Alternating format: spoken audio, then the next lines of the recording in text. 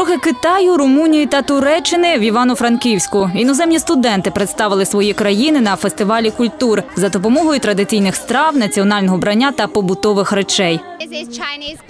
Ось наші традиційні підставки під чашки, а це національні мішечки пахощів. Ось такі прикраси ми носимо з колонами оберегами.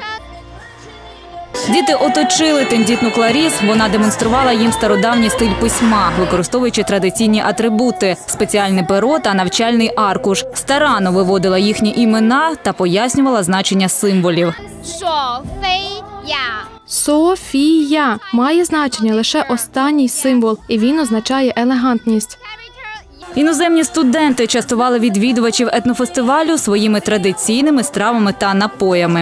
Е, Це риба, як я зрозуміла, е, в якійсь приправі е, відчувається м'ята і схоже на мівіну, якщо чесно, але дуже смачно. Я спекла поріг за рецептом моєї бабусі. За смаком він схожий на ваш сирник.